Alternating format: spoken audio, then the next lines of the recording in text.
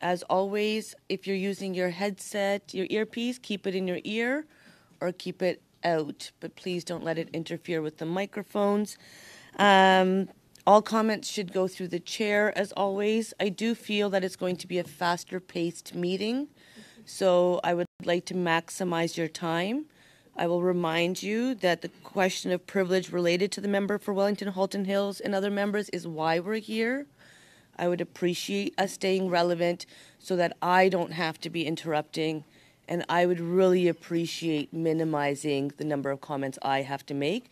I would just like for us to be able to go from member to member and maximize the time with the minister.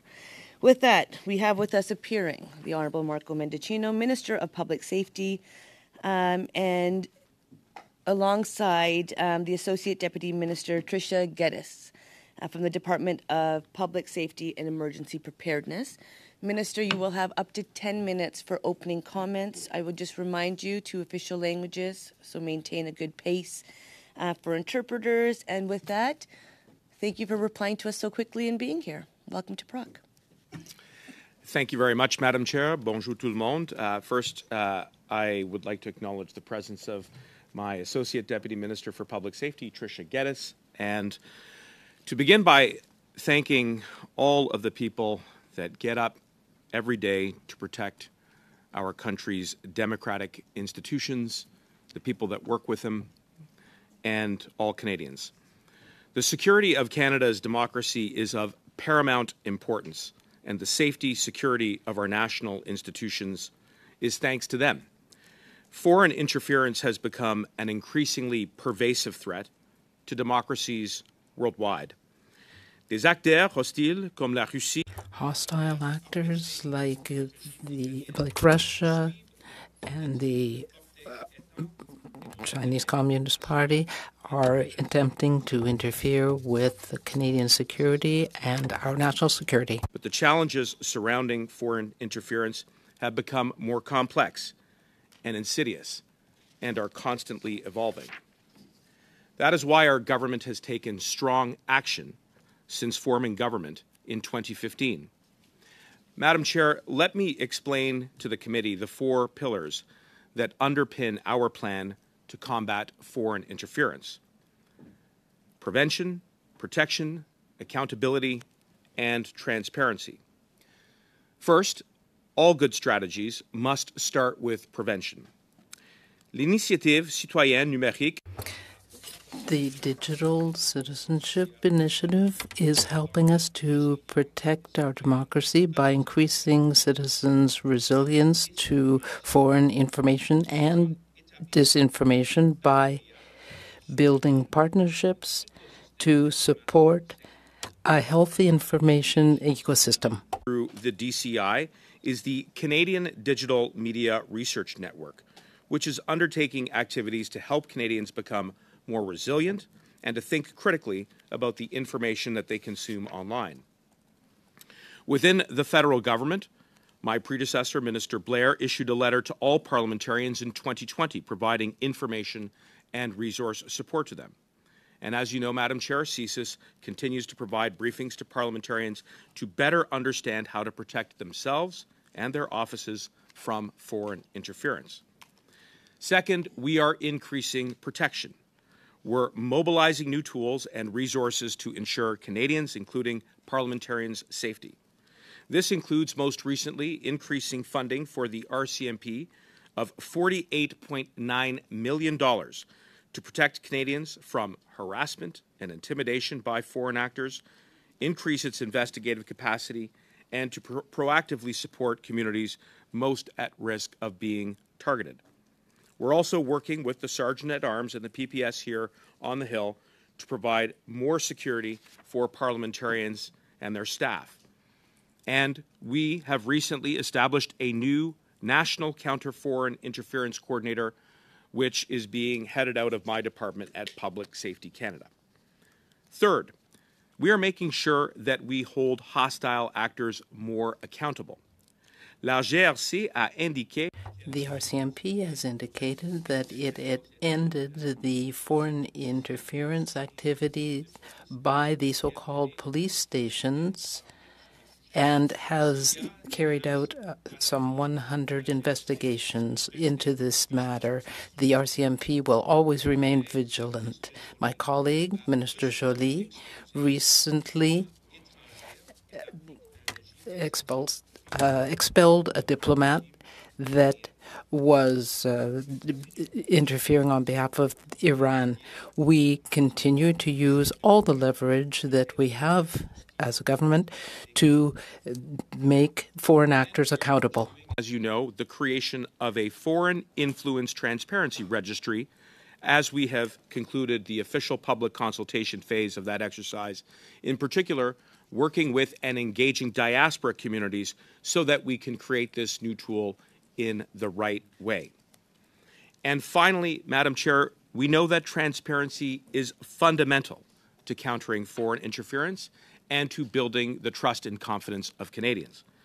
We're taking lessons and recommendations from the National Security Intelligence Committee of Parliamentarians. I've already mentioned two very concrete examples on which I am leading the implementation of those recommendations through the creation of a national coordinator to combat foreign interference, as well as the creation of the Foreign Influence Transparency Regime, as well as NSIRA, and most recently the work that was completed by the Right Honourable David Johnston in his first report, a report that does lay out a path forward to continue through a public exercise the engagement of Canadians so that they better understand how it is our national security establishment is equipped to fight against foreign interference. Our government and our national security agencies being more open than ever about the threats that we are facing is the best way to protect and strengthen our democracy. But of course, Madam Chair, we know that foreign interference has an impact well beyond our elections and elected officials. All facets of Canadian society need to be protected from this potential threat. Madam Chair, when individuals in Canada are subjected to intimidation, harassment, or manipulation by foreign states or their proxies, these activities are a threat to our sovereignty and to the safety of all Canadians. They will never be tolerated, and law enforcement will independently take the appropriate actions that are necessary. With several federal by elections fast approaching, the Security and Intelligence Threats to Elections Task Force has been activated to ensure the protection of our electoral processes.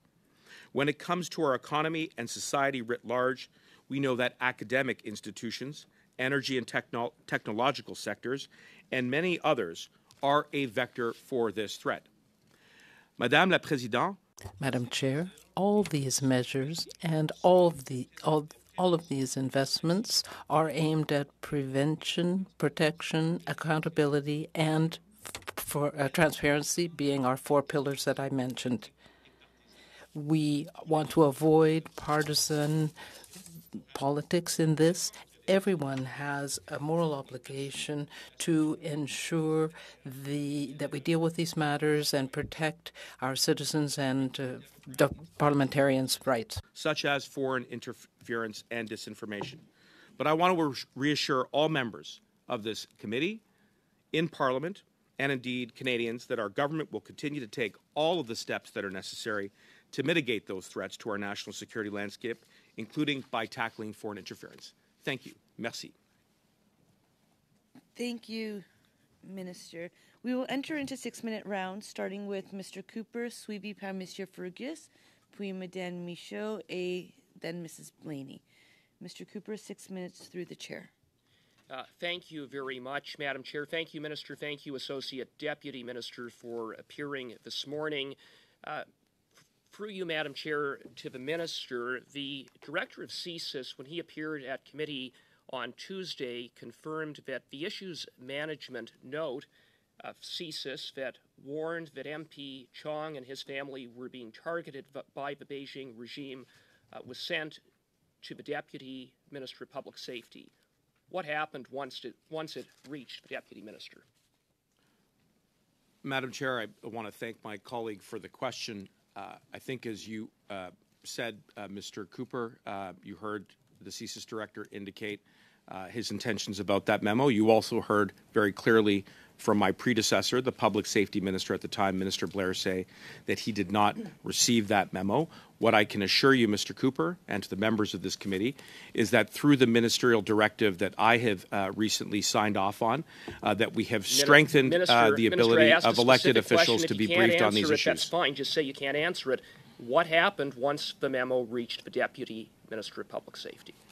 What I can tell you is uh, very clearly the intention of uh, the, the CSIS director uh, and the fact that uh, Minister Blair did not receive that memo, but that has been addressed through the ministerial directive sent- that I have implemented. to your deputy minister. So have you uh, instructed your department to an, i- open an investigation to find out what happened to that memo once it reached public safety?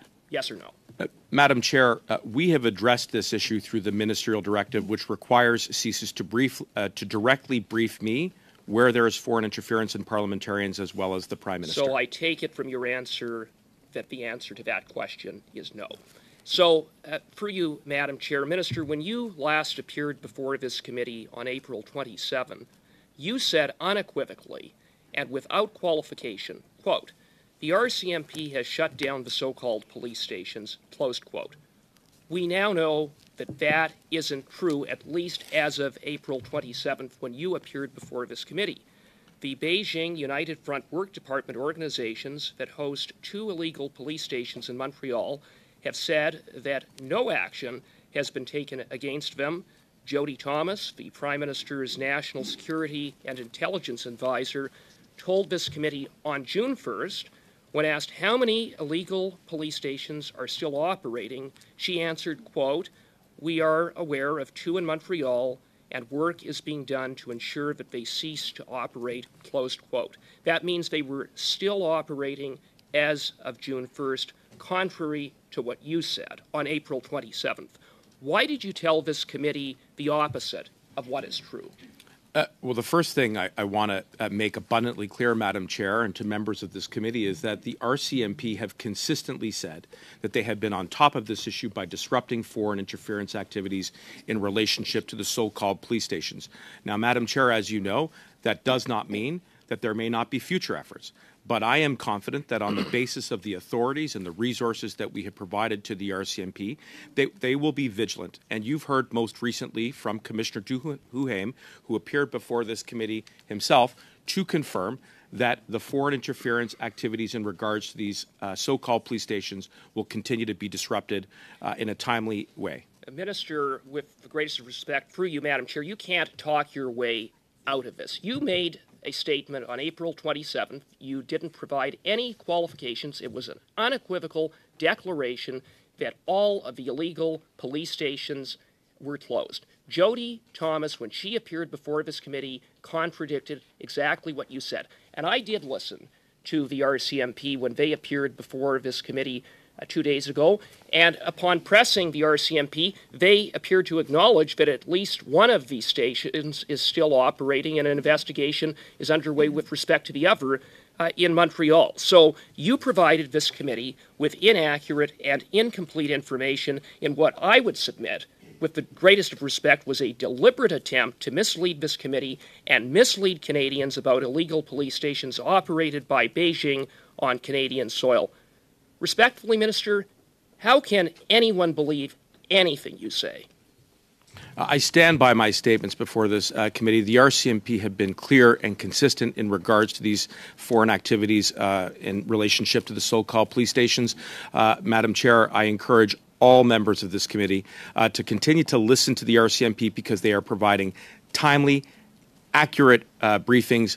They carry out those operations in a manner that is uh, independent from the government, but I am confident that the government has provided the RCMP with the tools and the resources and the authorities that are necessary Thank to you. deal with these Thank you for foreign, that. uh, Minister, foreign interference you, activities. You misled this committee, and that's, the fa- that's a fact. And I would submit no one can, can believe anything you say. How many arrests have been made in connection with Beijing's illegal police stations? Just a number. M- Madam Chair, I'm uh, pleased to reiterate what Commissioner Duheme told this committee just uh, a couple of days ago, I believe, which is that they uh, are advancing approximately 100 I asked a investigations in regards to foreign interference. have been made? You know the answer to that, Minister. The fact that you're unwilling to say it, I think, speaks volumes to your unwillingness to come here and answer straightforward questions. So, how many have been arrested? Madam Chair, a, a couple of points because I want to be responsive uh, to uh, to my colleague's question. Uh, first, the fact that there are 100 investigations the answer to ongoing that, reflects zero. how serious this is. But second, Zero. the So I'm fact going to that just the pause. I'm going to pause because, you know, Mr. Cooper, I was actually going to give you the floor back because the beep beep beep went off. I'm like, oh, he's kind of hearing what I'm saying. It's taken a bunch of meetings, but we're getting there. Awesome. High fives. I'll throw you back the floor, get you to get one more question, and we go on our way. We hear the beep beep beep. You know what my reaction's going to be, and then it's almost like you like it. Um, so with that, I find that odd, but everyone got the show. We feel better. Great. Um, can I? Minister Mendicino, the floor is yours, and then I'll be going to Mr. Fergus. Th- thank you very much. I'll, I'll try to be concise in my response, Madam Chair. First, the fact that there are 100 ongoing RCMP investigations into foreign interference shows they're taking this matter seriously. If there are arrests, obviously they will be uh, um, updated by the RCMP. But lastly, let's not underestimate the value of the ability and the capacity to disrupt those activities, which is precisely what the RCMP has done in regards to the so-called police stations. The Thank number you. is zero. Mr. Fergus. Mr. Fergus, thank you, Madam Chair. And thank you, Minister, for being here before the committee today.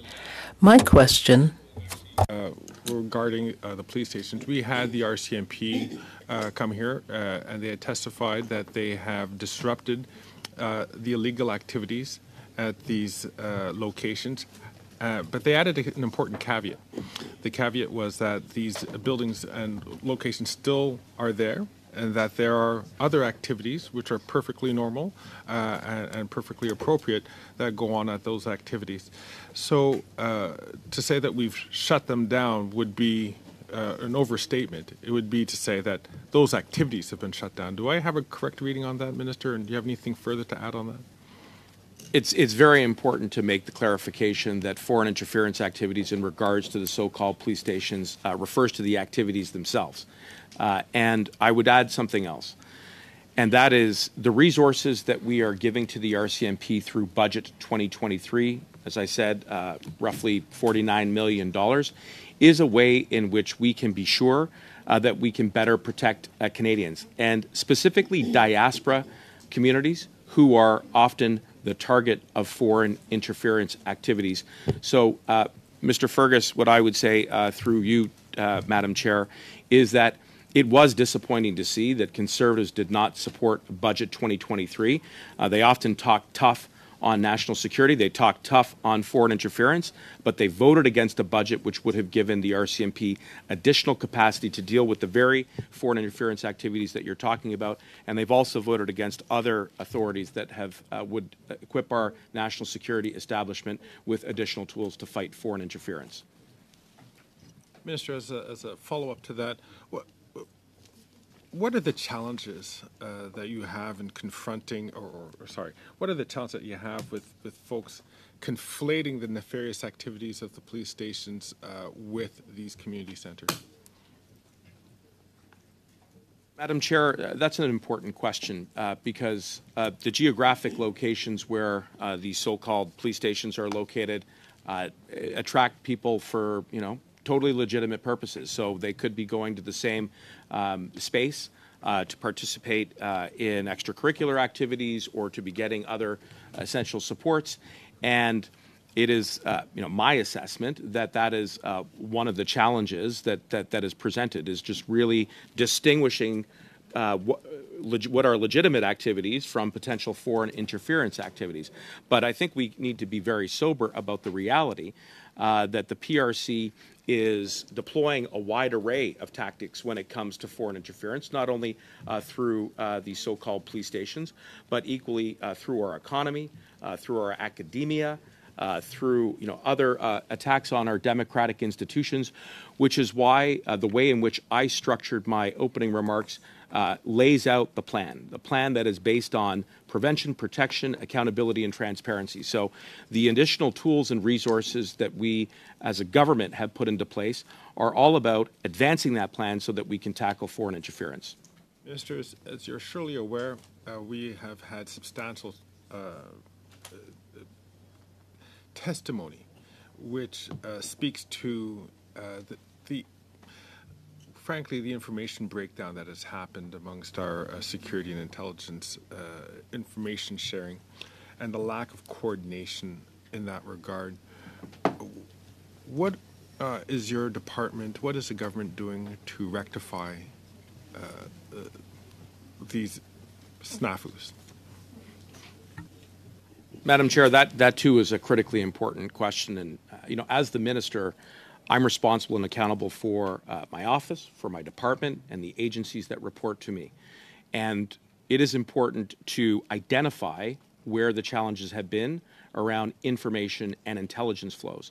So, in my job as the Minister of Public Safety, by identifying that issue, uh, I believe that we have begun to address it through the issuing of a new ministerial directive. The point there is that where there is foreign interference uh, in relationship to parliamentarians, I'm now to be directly briefed by the service so that we can be sure uh, that the issue is being uh, addressed, so that we can uh, be upfront with Canadians about how it is that we're doing that work. I would also say that uh, Mr. Johnston's first report, a report that is very substantive, that is incisive, does uh, lay out an additional number of steps in which we can continue to strengthen our internal governance uh, when it comes to intelligence and information flow, because that is the best way in which the government can take uh, the appropriate actions that are necessary to deal with foreign interference. That's precisely what I'm committed to doing. And a final question uh, to, to you or to the Deputy Minister. Um, I'd ask this question of, of uh, the CSIS director, and, and, I'd like to ask it of you. It, it seems that the framework in which we have set up the structure to respond to these issues. Our, whole security intelligence network was set up in response to terrorism threats. It seems that the frame has changed. Um, how do we now adapt our uh, structures to deal with these new uh, and emerging, perhaps it's been ongoing emerging, but just a, a new way of looking at, at the threats which we face by, uh, by foreign interference now? I'll say a few words and then I will turn it over to uh, ADM Geddes. But I think what your question touches on is uh, the need to uh, think about how we uh, frame national security concerns.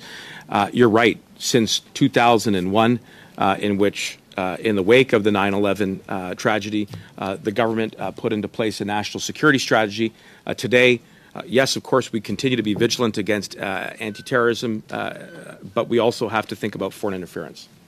Sorry, thank you. When the beep goes, we can't pass it to the ADM, but uh, maybe there'll be another opportunity. Madame Michaud. Madame Michaud. Thank you, Madam Chair.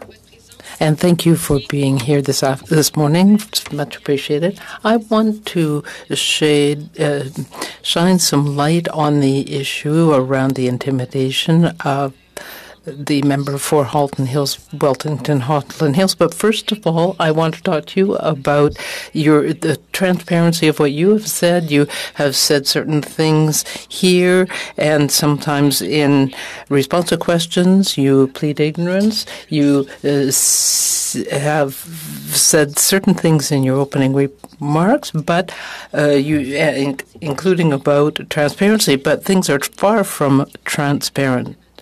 You are the Minister for Public Safety of Canada. You have the right, the obligation to be informed and to answer a question. You say that uh, you haven't been briefed, the notes were lost, and so on. So, how do you explain?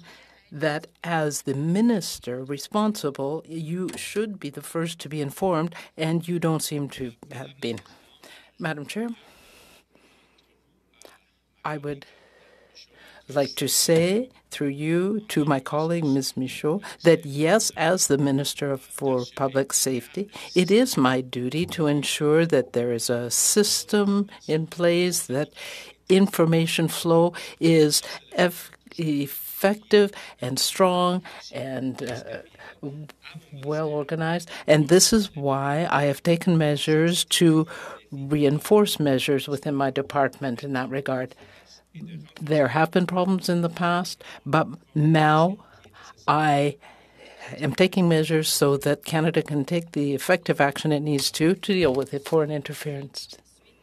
Now, Madam Chair, I would like to ask a few uh, questions, a series of questions, and to show that the minister has said some things, but then other things turned out to be the facts. Now, you said that the police was uh, responsible for emergency issues, and now you're saying the opposite. Now, the emergency measures act was invoked because we had an unprecedented situation. The decision to invoke the Emergencies Act was the result of consultations with the police forces. And this is exactly what I said before Justice Rouleau. Justice Rouleau checked into this, and these were the right decisions. He confirmed that. Uh, my time is short, and so I would like to just have short answers, please. The same situation arose with respect to the so-called police stations uh, organized by the CCP. You said that they had been closed down. Mr. Cooper said, pointed out earlier that that wasn't the case when you had set up. Um, our colleague, uh, Mr. Cooper, asked the question, and I will repeat my answer. The RCMP has taken concrete action to deal with the so-called police stations, and the RCMP will remain vigilant about those activities. You said a few days ago that you were not informed about the transfer of Paul Bernardo from a maximum to a medium uh, security in uh, institution. You hadn't received information, but we have found out since that you were sent the information. Now, did the information not get to you? How? What is the truth? Mr. Turnbull, point of order. I, I know I was a little bit late getting here, but I, my understanding is we're studying foreign interference today, specifically a question of privilege. Uh, I don't know if this question is relevant. I'm just just wanted to point that out and seek your advice on that. I did actually at the top of the meeting remind us that this, I know that on Parliament Hill, everything is important, and that's why we do like a whole list of important things.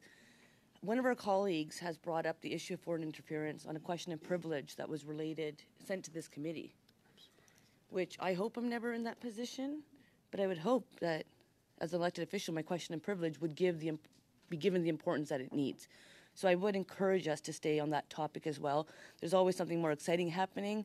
Um, so I'm gonna. The time is yours, Madame Michaud, but we are here on the question of privilege related to the member for Wellington Halton Hills and other members. Est-ce que vous voulez, garder votre question Do you want to maintain your question, or would you like to ask a different question?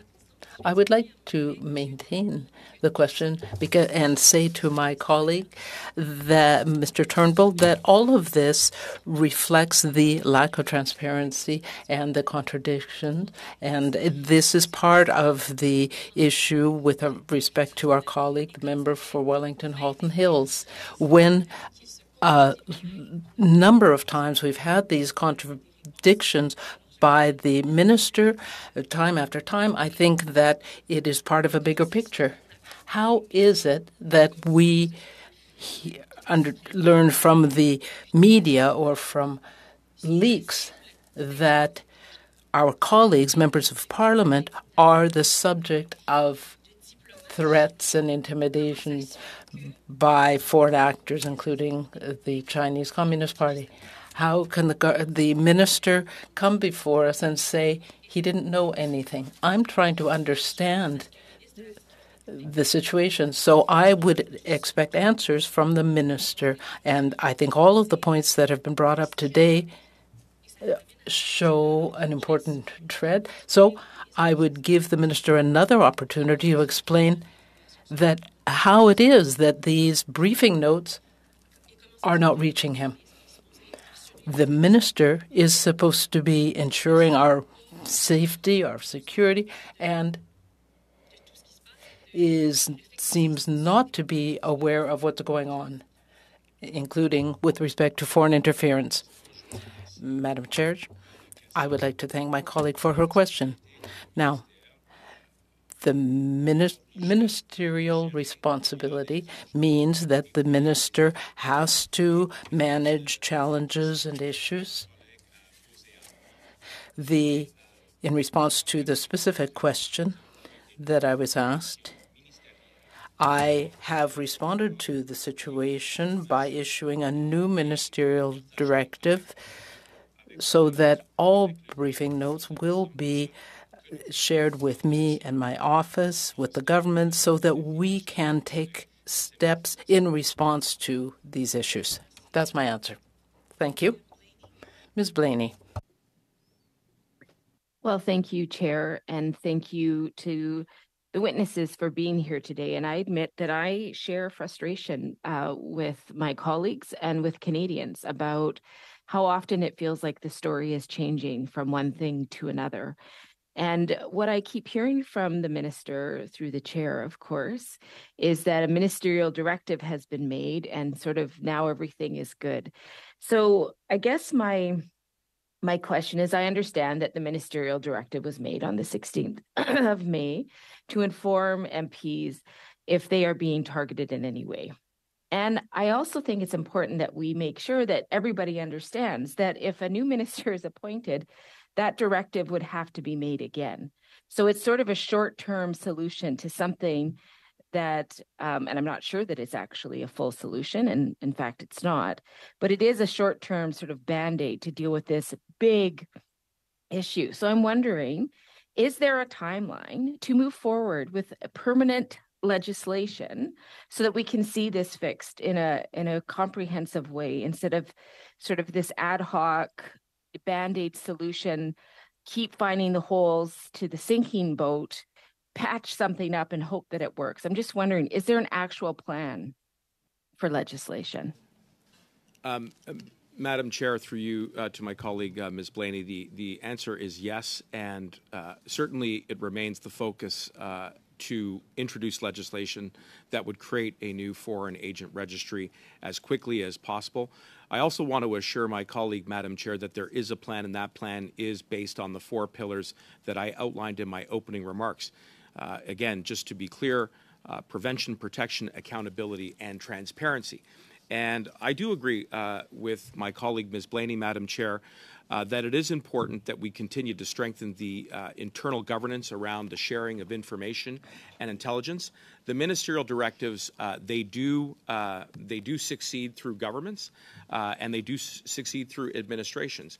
Uh, and the ministerial directive, which I issued in regards to parliamentary foreign interference, is a way in which we can strengthen those protocols. So, yes, uh, to use your met- metaphor, uh, uh, Ms. Blaney, there are definitely uh, waves, uh, but uh, the boat is being reinforced so that we can navigate those waters. Mm.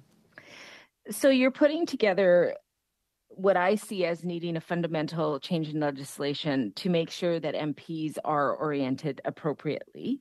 And you're mixing it up with the foreign agent registry. So I just, I'm not clear on how come you're putting those uh, two things together. So I guess my my first question is, what is the timeline for reg, uh, for legislation?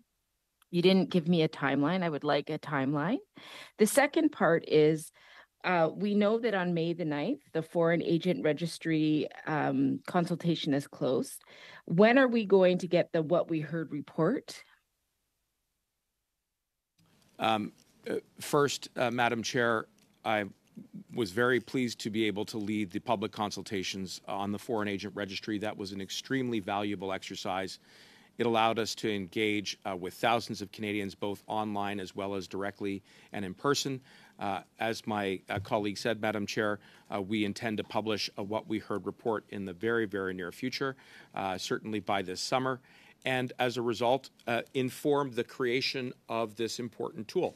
And I would just, again, reiterate that this tool has to be seen against the backdrop of all of the other concrete actions that the government has taken to date when it comes to foreign interference, including by giving new authorities to CSIS, including by raising the bar on transparency through NSICOP and NSIRA. And when we talk about the next steps, including legislation, what you have is a very comprehensive plan to deal with foreign interference. So, my next question is on the diaspora. We know that there have been long term uh, communities that have come forward to talk about the challenges that they're facing on a personal level with foreign interference that have largely gone ignored. So, I'm wondering in the consultation process, how did you include these communities? And then in the rollout process of the foreign agent registry, I'm wondering how you're working with those communities to make sure that the rollout is done in a way that is friendly and doesn't target the very people we are trying to get to share with us. Madam Chair, uh, Ms. Blaney makes a very important point. One of the lessons uh, from the public consultation on the registry uh, was that there is fear of retaliation from within diaspora communities if they engage in any uh, public discussion.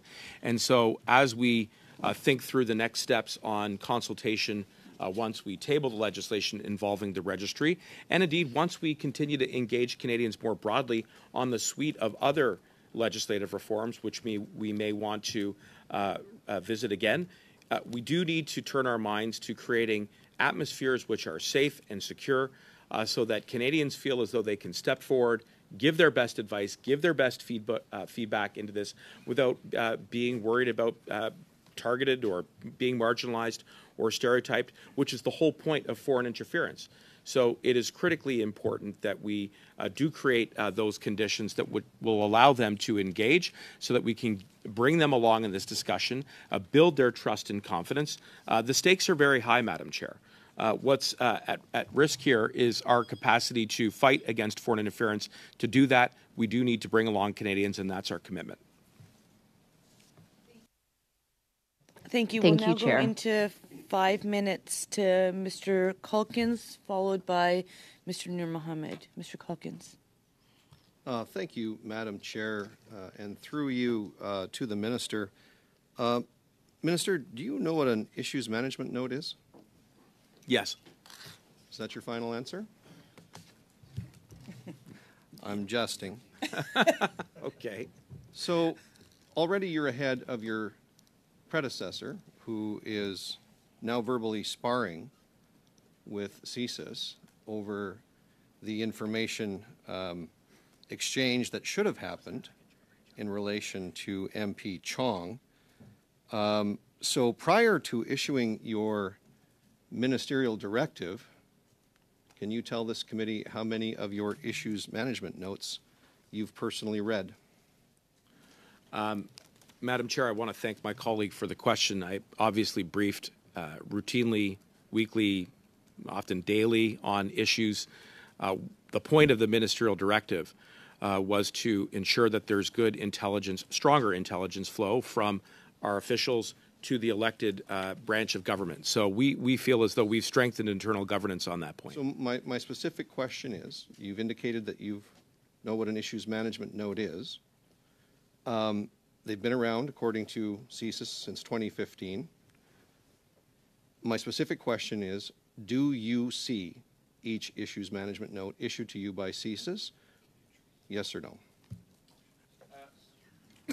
I will see issues uh, management notes. They take uh, different forms. Some come directly from the department, some come directly from elite agencies, some come directly from my staff. What's important is that there is a dialogue and there is a flow of information so that in my capacity as Minister of Public Safety, I can appropriately uh, be upfront with Canadians about any issue that touches on national security or public safety, and that where appropriate as well, I exercise certain ministerial authorities to protect Canadians from issues like foreign interference as well. So in the context of being upfront with Canadians and establishing the, the, the credibility of what's being said here so that we can formulate a report and have proper recommendations going forward. Minister, in January of 2022, you talked about getting advice from law enforcement asking for the uh, triggering of the Emergencies Act, which we found out not to be true. In October uh, of 2022, uh, you had an issue where you misled a federal judge by backdating documents. Um, in January of 2023, you had an issue about the safe third country agreements working effectively and miscommunicating that to Canadians. In April of this year, you had to scrap your amendments to Bill C 21 after saying you weren't targeting law abiding hunters. Uh, in May of this year, you indicated that CSIS never shared intelligence that the communist regime had targeted Mr. Chong and his family, which we now know is not true. In May of this year, you talked about police stations still being open, which is, we know now, categorically wasn't true. And now we know that not only did the Correctional Service of Canada tell your department and your ministry uh, on in, in, in May of this year, but you were also CC'd on that same memo from your own boss who forwarded on to your department or your ministry. And last night, reading through Twitter, your boss and the, through the prime minister's office has said that they sent you that same note and there was no indication according to this reporter that you responded to the prime minister's office and that the prime minister's fou- office found out on the 29th the day before you said you found out on the 30th that paul bernardo was being transferred Point from a maximum security prison to a medium security prison it is it is Point of order, I'm, establish- Mr. I'm, I'm trying Um, to I- establish credibility of the witness madam chair This isn't a courtroom, but okay. Point of order, Mr. Turnbull. Uh, Madam Chair, it's the same point of order as last time. I just wanted to ask for relevance. I don't know how Mr. Calkins thinks this is relevant to foreign interference, which is what we're here to study, but I'd really uh, like to know how this is relevant to our current study. So I was, and I will, I was just waiting to see where the question was landing because Mr. Calkins has been around a long time, so he knows how this works. And I was um, hoping that we were coming back into it. So perhaps that was the case, Mr. Calkins. Back- The issue is the information that's being shared is being blamed not only by you, but other ministers of the Crown as not getting the information. There is no doubt in my mind, Madam Chair, that the minister had the information about this transfer and had the information about all the other things pertaining to Mr. Chong and every other issue I said. So, given that, Madam Chair, I'm going to ask the minister if he can do the one thing that I think he knows he should do. He has a microphone in front of him right now with all of the issues uh, that have been caused under his watch and the issues specifically pertaining to my colleague, Mr. Chong. Will he do the honorable thing and resign right here, right now? Madam Chair, I- I'm focused on one thing and one thing only, and that is doing my job to protect the safety and security of Canadians. That question is so posed with, is riddled with inaccuracies and falsehoods, it doesn't even begin to warrant an answer. Thank you. I will just say when I, because I love watching The House because I'm cool and hip like that.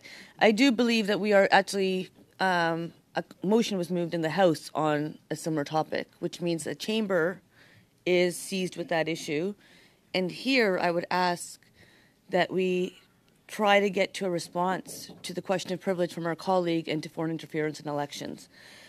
Um, but I can just try. Mr. Noormohamed. Uh, thank you, Madam Chair, and thank you, uh, Minister um, and officials, for being here today. You know, I, I came today because I'm keenly interested in the issue of foreign interference, and I've been surprised that we haven't really had much of a focus um, from opposition colleagues on foreign interference. So perhaps we can come back to the issue of the day. Um, one of the things that, you know, in my time as a public servant in public safety at PCO, uh, under three different prime ministers of different political stripes, I recall there was a substantial uh, level of concern dating back to the time of the McDonald Commission around the notion of how do we share intelligence. This has plagued liberal governments, it's plagued conservative, plagued conservative governments, and no doubt we are here having a similar discussion today. So, Minister, when you think about the path forward, because I think one of the most important things we can establish is how do we make sure, in context of the question of privilege, that we build a safer environment for Canadians. What are some of the things that need to happen in your view, or that are already happening, um, to ensure that we get right how we address and deal with intelligence, and how we ensure that we don't conflate the notion of intelligence with actual evidence? this is an issue, Madam Chair, uh, I'm uh, extremely concerned about, and uh, it takes me back to my days as a former federal prosecutor uh, when I dealt with cases involving national security. And indeed, one of the biggest challenges uh, that continues uh, to confound not only Canada but many democracies is understanding how it is that we transition from actionable, credible intelligence to admissible evidence which can be used in a court of law to uh, prosecute and hold those who are responsible uh, for committing acts that pose a threat to public safety and uh, national security. Uh, one of the things that the government is very much focused on doing is uh, revisiting that particular question. Uh, and that can be done through legislation. Uh, there are currently Canada Evidence Act provisions that do allow for uh, proceedings uh, where judges get access to Uh, uh, to classified information, uh, then make determinations based on privileges that can be asserted by the government to protect national security, to protect the people that work within those institutions, with the the relevance and the probity of that of that evidence, so that they can then be used in open proceedings. I will say it is a very challenging exercise. And we have to strike the balance correctly. So, as uh, you uh, pose the question, and I'm not just talking about yours, but as the government poses uh, that question, we do have to really think through um, the evolutions in the threats to our national security landscape. You, you know, you talked about coming back to foreign interference uh, in this discussion today. Mr. Noormohamed, uh, Madam Chair, through you to him, I could not agree more. The stakes have never been higher. We have to set aside the partisanship. We have to set aside the distractions. We have to be focused on the issues at hand because what's at stake is our democracy, our economy, and most importantly, the Canadian people and their safety and security. Uh, thank you, Minister. My next question, uh, Ms. Geddes, I have had the privilege of working for people who have sat in your seat who are incredible public servants. And so it is. Uh, it is always a privilege to ask uh, our senior most public servants um, questions around some of these issues that you live every day. You know, we live in a world right now where we hear all the time, well, if everybody had access to this information, we wouldn't have the problems that we do. Can you just bring us back to why it's so important to distill intelligence in a way um, that allows people to make informed decisions and the re- material risks of just putting everything that might be, you know, might be con- collected in the in the realm of intelligence into the public domain? So, thank you very much for the question. I have worked in the national security community for some time, and I can tell you that one of the most important drivers is for us to make sure that the people that are providing us with that intelligence, and people are putting their lives sometimes at great risk to provide that intelligence, that we are paying very careful attention to how we can take that very sensitive information that we have received and find a way to be able to convert it into either advice so that the government can act on something, so that we can turn it into evidence, as the minister described, or that we can use it for action. But in so doing, those are really important pieces of intelligence that we want to be able to use. But in so doing, we have to be incredibly conscientious about how we're able to protect those people that have, in many cases, put their lives on the line to be able to give us that information. So, if you were then to take what you have just said and you consider some of what you know what is being discussed in the public domain, and you know I'm not asking you. This is not a partisan question. This is a question that I think I would like your answer as a as a public servant. Do I not have another minute, Madam Chair? No, it's five minute Oh, round. I guess not. Okay. Well, thank you. Very, thank you very much. Um, I would like you to put Mr. Mohammed, Mr. Noormohamed. Do you want to just put your question on the record real quick? Sure. Yeah. The, the question I was simply going to ask is, in the context that we now operate in, um, what is when you talk about risk? You talked about methods and sources. What are the risks to the way in which Canadians uh, might respond if we didn't take those steps? Thank You, I know what a tease. This was because um, Associate Deputy Minister Geddes really enjoyed the last answer, so I would love to hear that answer in writing um, because we're limited in time. Madame Gaudreau, deux minutes et demie. Merci Madame Gaudreau, you have two and a half minutes. Uh, for the third time, uh, you're here, and it's quite a challenge, I know. Is it usual for a Minister of Public Safety not to get the information regarding public uh, se- public security and issues. Well, through you, Madam Chair, it is very important that the Minister for Public Safety receive the information about these issues, and this is where I identified with the Deputy Minister where the issues were and what measures we had to take. So I think with the new ministerial directive, we are reinforcing our protocols. And yes, well, Madam Chair, the last time we met was after uh, the budget, and uh, we heard about that. So I'm aware of what you're saying. But how can the Minister for Public Safety uh, not have the information? And we had to hear through leaks to the media uh, that there were these uh, issues. I fully share the concerns of my colleague about the leaks there is a problem there. But I have confidence in our police services, uh, in their investigations, and the people responsible will be brought to judge, justice.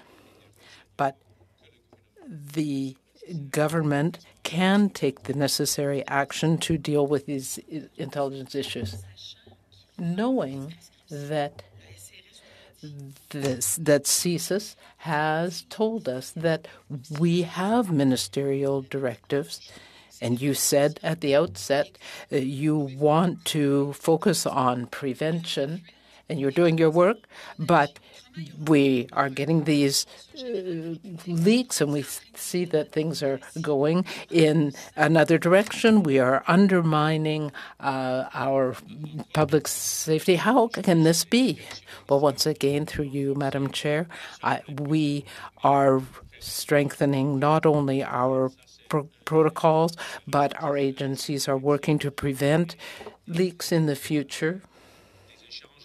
We have had very good exchanges within my department. Perhaps the Associate Deputy Minister would like to add a few a few words.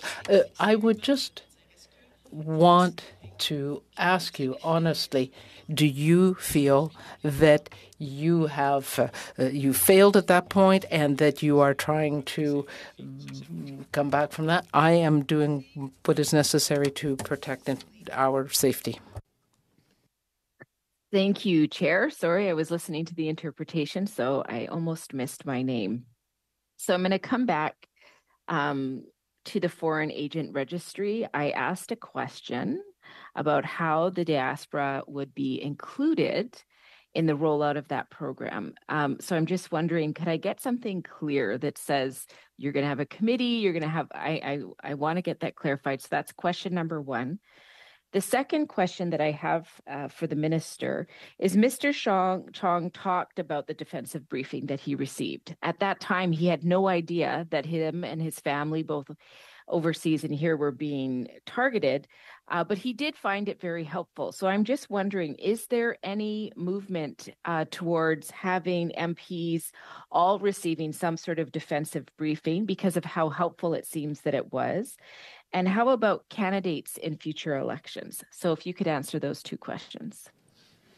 Um, through you, Madam Chair, to my colleague, Ms. Blaney. Um, first, uh, I want to come to the uh, question of engaging with uh, diaspora communities. Uh, I, I, took the opportunity to emphasize creating safe uh, atmospheres in which we can engage them because of the heightened concerns around retaliation. But I also want to mention two other examples uh, to Ms. Blaney, which I hope will be responsive. One is the National Security uh, Transparency uh, Group. Uh, and that is a group in which we uh, seek to engage directly with diaspora and other communities, including Indigenous peoples, as well as the cross cultural roundtable on security. So through both of those forums, uh, Madam Chair, we are engaging directly with diaspora communities and Indigenous peoples.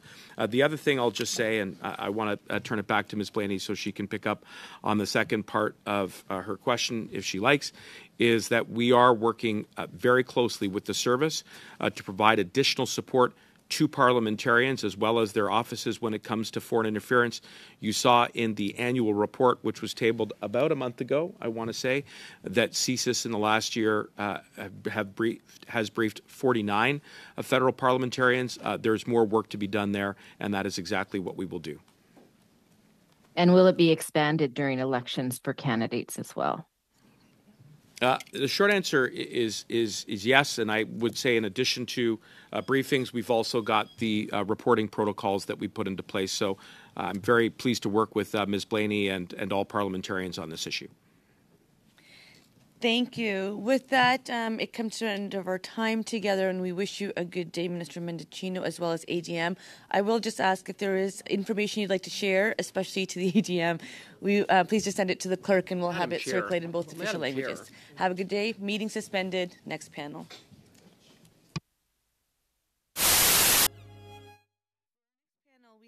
us Mr. Daniel Jean, former National Security Intelligence Advisor to the Prime Minister. Thank you for coming back. A uh, Mr. Michel Juneau-Katsuya, former Chief of the Asia Pacific Unit, Canadian Security Intelligence Service. Um, Mr. Juneau-Katsuya, I'm going to pass you the floor, and then I'll head to Mr. Jean after. Welcome back to PROC. Thank you for responding so quickly. Thank you very much, Madam President. Bonjour, Monsieur et Mesdames.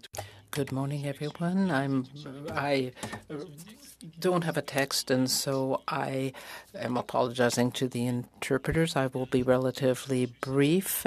I am following up on testimony that has been given this week by the RCMP and CSIS. Two problems have arisen that uh, are relevant to the issues we are dealing with today. First of all, communication problems both horizontally and vertically. And what I mean by that is that, yes, there are communication problems between the agencies, uh, despite the politically correct language and responses given by our officials. There is information that doesn't circulate properly. And if the information isn't uh, provided, then you can't blame those that don't receive it, and vice versa. Then there is the issue of vertical communication, that is, information going from the agencies to the minister's office or the minister. And this is another type of problem that we have to deal with in order to improve the uh, transmission of intelligence and the problems we're dealing with today. Then we have the concept of intelligence to evidence, that is, information that actually becomes evidence. And this is a problem that has existed since the creation of CSIS, which was created for the wrong reasons from the beginning, and I was there. Our marching orders were that we should never be in a situation where we would have to appear as witnesses. But there are a number of issues that have uh, led to situations where that was problematic. For example, the uh, Air India situation, the uh, Charkaoui situation, Jeffrey Delisle, and so on. And as a result, uh, the RCMP uh, could not carry out its activities the way it should have. It's not the RCMP's fault if the information comes from CSIS and the RCMP has to testify in court, then the sources of the information have to be raised, and that is something that is to be avoided at all costs. And so, where in, Air India was concerned, for example, there were people who paid the price for that. So, those are two major factors that I believe we need to take into account when we're looking at foreign affairs, uh, foreign interference. Going at lib here, uh, but uh, please do not hesitate to ask me question in English. Thank you, Ma Madam President. Uh, thank you. So we welcome either of the official languages. So never hesitate to speak whatever language comes to mind, especially when there is several in the head.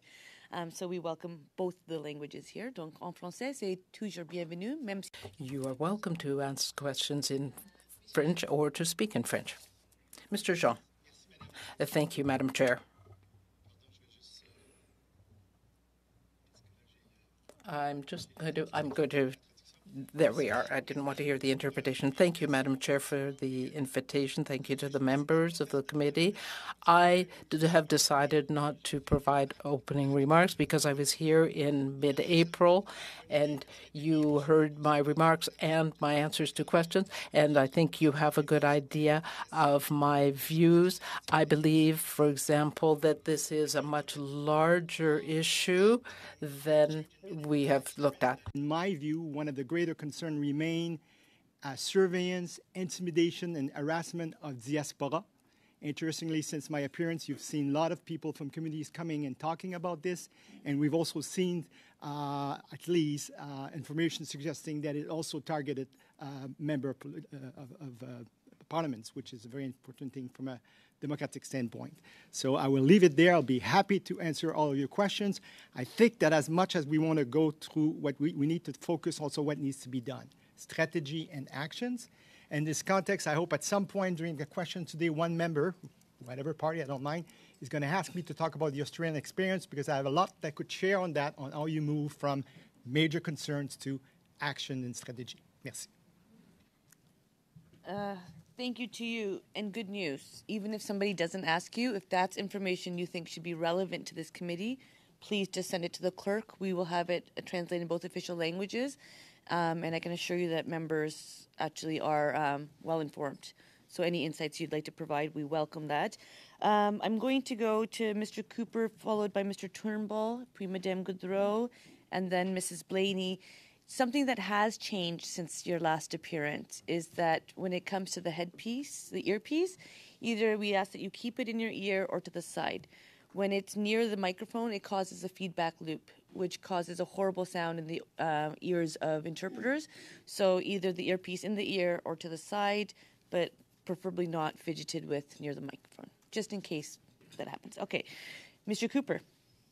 Uh, thank you, Madam Chair. Thank you to the witnesses for returning to committee. I'm going to ask uh, my questions to Mr. Jean through you, Madam Chair. Uh, Mr. Jean, since you last appeared before this committee on April 18th, you met with the Prime Minister's rapporteur, David Johnston, and at pages 22 and 23 of his report, uh, he confirms that you are the author of a 2017 PCO memo to the Prime Minister uh, that had been reported by Global News. I'm going to ask you some questions arising from Mr. Johnston's findings. Uh, did you prepare the memo at the request of the Prime Minister's Chief of Staff, Katie Telford?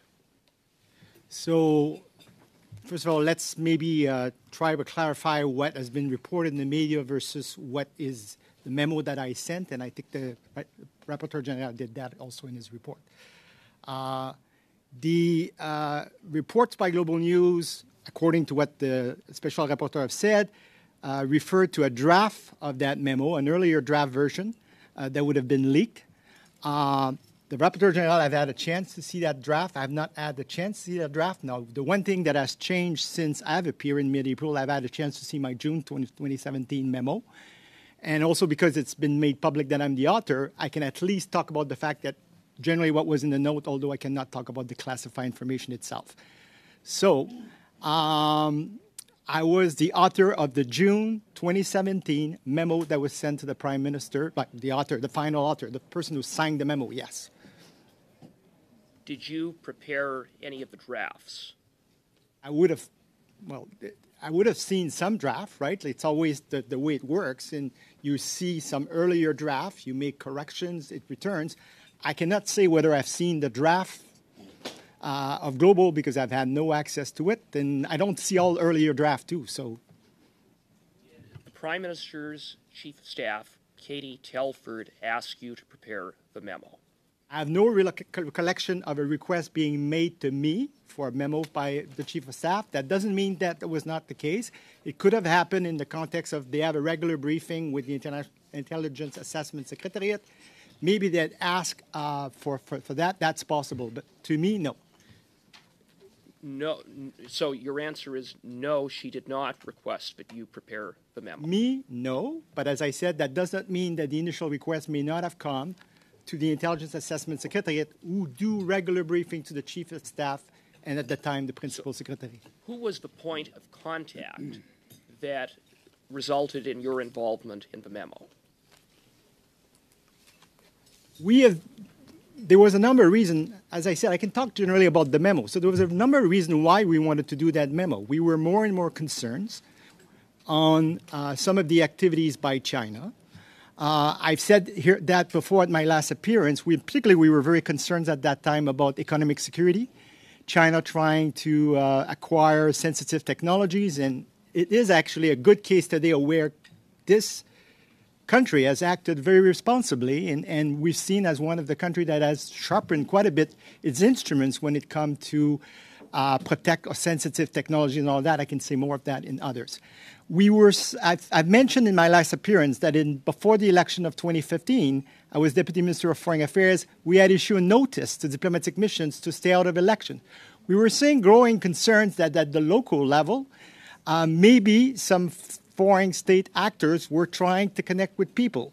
We were concerned about our research. We were concerned, as you probably remember at the time, there was a huge corruption. Thank you, Mr. Yep. Jean. And I apologize for yep. interrupting, but my time is limited. Yep. And following up on where you more or less left off, uh, Mr. Johnston states in his report that an earlier draft of the memo contained language similar to what was reported by Global News on February 8th, namely that Beijing operatives were, quote, assisting Canadian candidates running for political offices, closed quote. Uh, Mr. Johnson uh, states, however, that, quote, the draft was significantly revised before the memorandum went to the Prime Minister, closed quote, and that language specifically warning of Beijing had been removed. Who objected to the initial warning about Beijing assisting Canadian political candidates? First of all, I've not seen the draft memo that Global assumed to have seen. In fact, Mr. Johnston seemed to have seen a different draft than what uh, Mr. Cooper reported on. Secondly, uh, the note that I sent warned about all kinds of foreign interference activities by China, so therefore there were certainly no objections in sensitizing the government. In fact, one of the main reasons for the note, in, on top of trying to sensitize the government that we needed to be very conscious, was we had had the US election, a lot of the focus was on cyber foreign interference, and we wanted the government to understand that whatever tools we were going to develop needed to be as effective to fight analog foreign interference. And in fact, what were the tools that were adopted after, the special task force, the protocol, and all that, apply as much as on cyber foreign interference as they do on um, analog. Well, Mr. Did did anyone? So you have you, you did sign off on the final memo, yep. and the final memo contains uh, language that, as Mr. Johnston says, was significantly revised, and that there had been that, that it was there was a, a suggestion that it be general, that no single state be specifically identified. Why? Hmm. No first of all, that's not what the Rapporteur General report says. It says that whatever actions you take, we should be careful. He was talking if you take actions. In terms of the memo, the memo was very clear that we were concerned about growing activities of foreign interference by China. Do it. Don't do it. So In thank fact, you. the first question the, rapport, the chief counsel, the rapporteur, told me is your memo is quite clear. Excellent. Thank you for that answer. Mr. Turnbull, six minutes. Thank you, Madam Chair, and thanks to the witnesses for being here today, and welcome back. Um, as the saga continues in this work, it's important work. It's great to hear from you again and have your expertise in the mix. Mr. Jean, I'll start with you um, with a question. Uh, you've obviously read um, the Right Honourable David Johnston's first report. Do you agree generally with the findings in his report? Uh, generally speaking, I agree with the findings, yes. Thank you. Well, generally, I don't agree with all every specific marketing, but in generally speaking, yes. Okay, thank you very much. Um, in terms of, I think you, mentioned uh, previously that uh, a lot of the focus uh, going back years was on um, red flags that were raised, I think, in the U.S.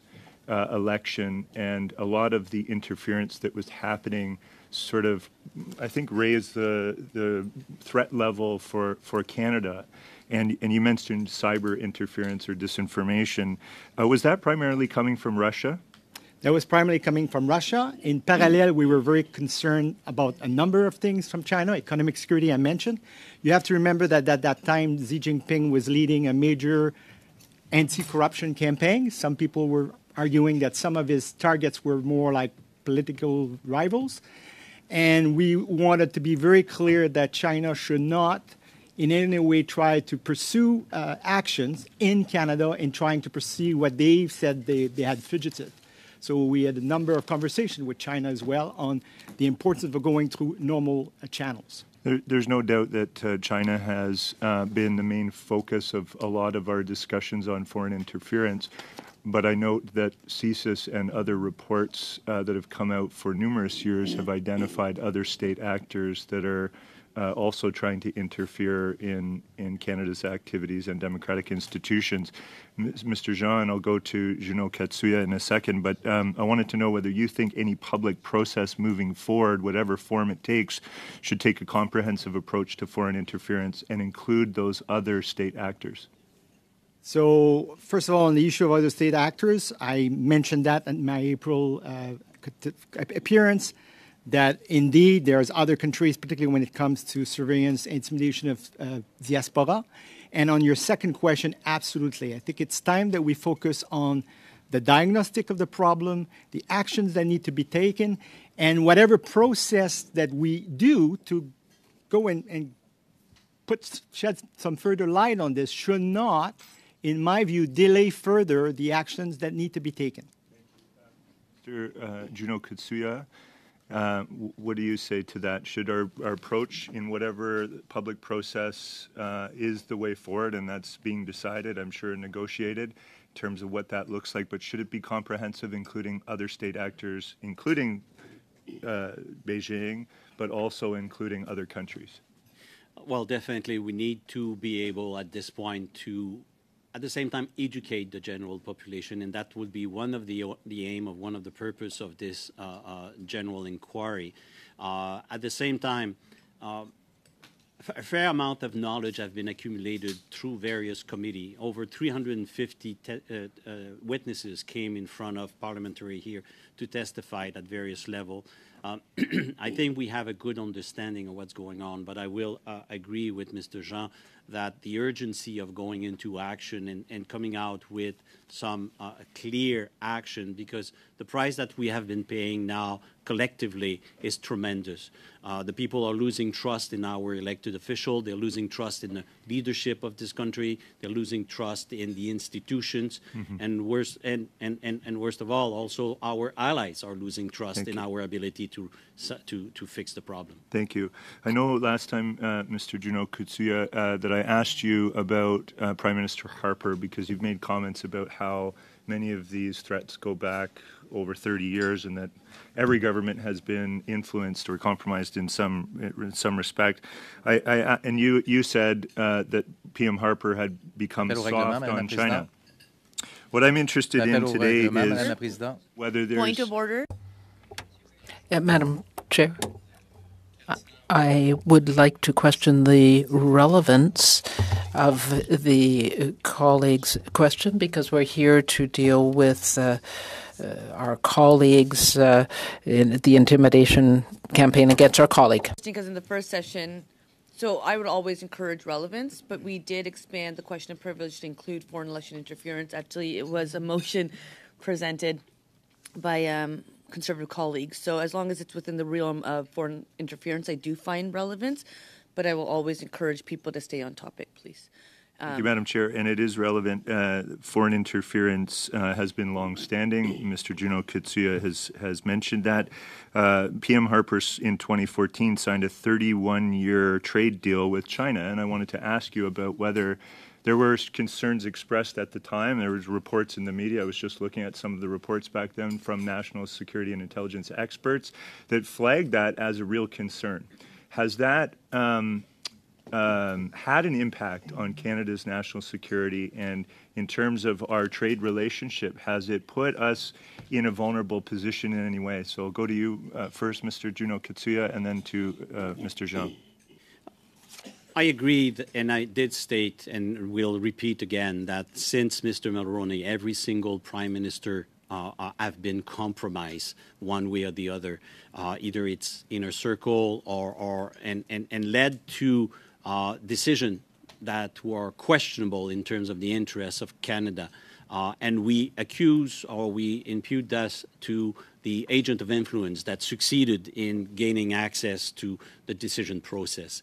Uh, so yes, Mr. Harper is quote unquote guilty of that uh, miss, uh, uh miss uh, uh, wrong decision, but he's not the only one, unfortunately.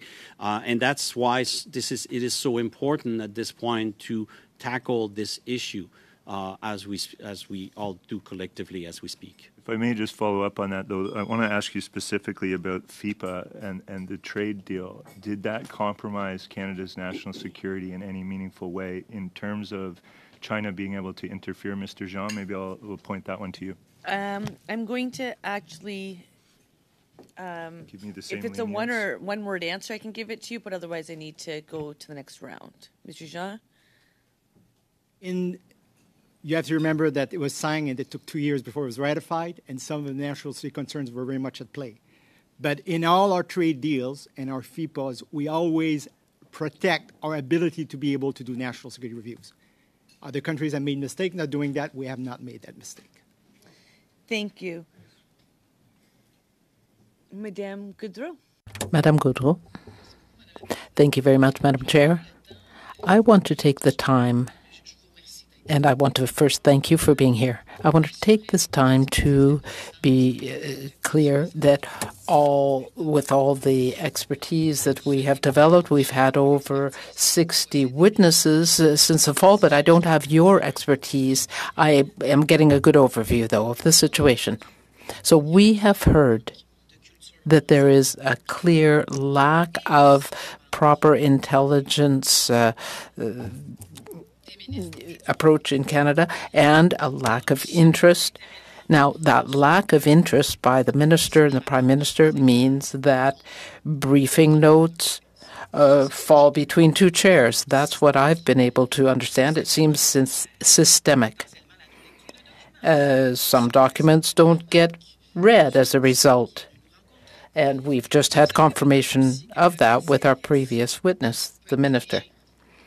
Sometimes we have uh, seen figures showing that uh, that uh, show other problems. Now, does this create a credi credibility problems for Canada with the Five Eyes? I wonder about that. And I also wonder whether this is why we have not been invited into AUKUS. I have the impression that there is no doubt. I wonder whether we are well protected. Thank you for your question. Through you, Madam Chair, we have heard from a number of witnesses and senior officials, people in intelligence, that we have excellent investigators, we have excellent operational services, but on the political level, we shoot ourselves in the foot. We have taken too long, much too long, to make certain decisions. For example, with respect to Huawei, we dragged our feet on that for far too long. And that ambivalence has been shown eh, by other things we've seen here. For example, since the 1990s, there was a report from the U.S., Dragon Lord, that were watching the activities in Canada that they felt were being perhaps funded or uh, influenced, and that no action was being taken, and that uh, compromised Canada's uh, national security situation. So if the 19, since the 1990s, the Americans have been concerned about our decisions, then uh, that is something that I also saw in my work at the Asia Pacific unit and tried to alert the government about. These problems are long-standing, and they have only increased over the years. We have seen bold moves by certain countries, including China in particular, that have taken much more uh, of a forceful approach to their interference and with the diaspora. Thank you. I would also like to offer Mr. Jean the chance to answer my question because, as has been said, we need to uh, go ahead with strategies and actions. I would talk about the lack of culture and the lack of political interest. Because if we look at the reports that were referred to last week, the the CIGI report, there's a lack of culture that is highlighted there, but there isn't political interest except when we have a crisis like we have right now. So we need to have more maturity in our political approach. When we look at the current case, there was a problem. We need to go beyond the current problem and find corrective actions to take. When I had a different role. I was the national security and intelligence officer to the prime, prime minister. Uh, and I saw that intelligence that should have caused us to take action often did reach the prime minister and action was taken. The 2017 memo is a good example. We had evidence of China's interference, and we took action to strengthen our election preparedness. Now, you referred to the Five Eyes. We will never be at the level of the UK and the US because we don't have the resources. But we need to um, have value added uh, to uh, come back to this issue, we need to make Canadians more aware of the issues and constantly hone our tools. I just have a few seconds left. When I asked the question of the minister to the effect that he didn't seem to be getting the information. Is that what you're referring to? Because it seems not all the information gets to where it should. Uh, I was talking about vertical communication earlier, and that's exactly what I mean. Unfortunately, we have seen that some information got to the highest level, but for personal, partisan, or perhaps misguided in reasons, it was not delivered. Thank you.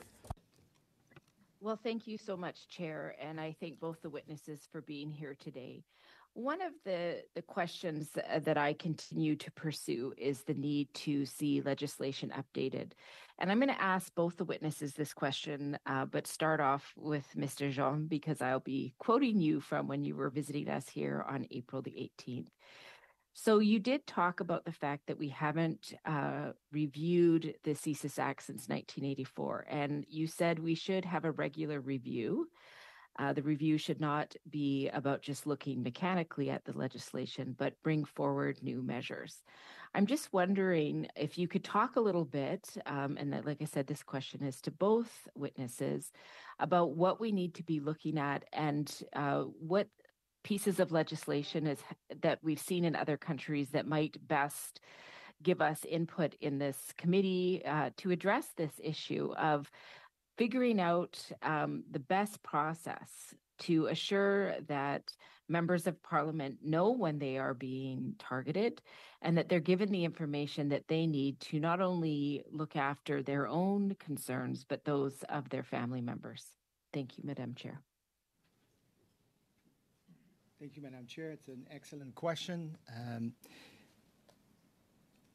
to some extent, the um, the shortcomings of the is at the heart of what you're reviewing right now.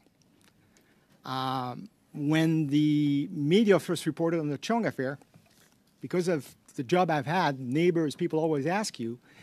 And my first reaction was, I've known Michael Chong for a number of years, and if he says he hasn't been briefed, I have, tend to believe him because I think he's somebody of a very high integrity. At the same time, I have a lot of respect for National Security Committee and for CSIS, and I have a really hard time believing that if CSIS had the information that being reported, they would not have taken action. I said, what I'm concerned about is they may have been very limited in what they could share with Mr. Chong because of the lack of legislation. And secondly, while I have a lot of respect for CSIS, go back to my last testimony. Now that the crown jewels are no longer in the government, CSIS needs to change their culture on how you outreach when you have information like that with people to make sure that they have enough to be able to defend themselves. Because with private sector people, when I was NSIA, they would come to me and say, they come and say you should be concerned, but they won't give you more. So you don't have enough to know what posture you need to take. The reality is the legislation doesn't allow them to do that.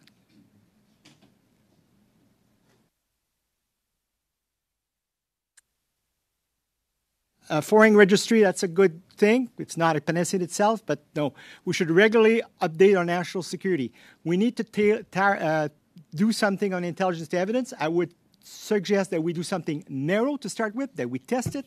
We should work with civil liberties group to make sure that it still offers a fair defense to people. There are a number of things that can be done. Uh, awareness, prevention is very important as well. Okay. And I'm wondering the minister spoke earlier today about the ministerial directive that just has opened the doors to share information.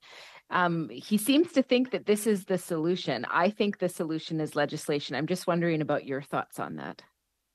The challenge is that if you go too far, like right now, because of what's happened, everybody is kind of happy with the ministerial directive and want to make sure that member of parliaments can be protected.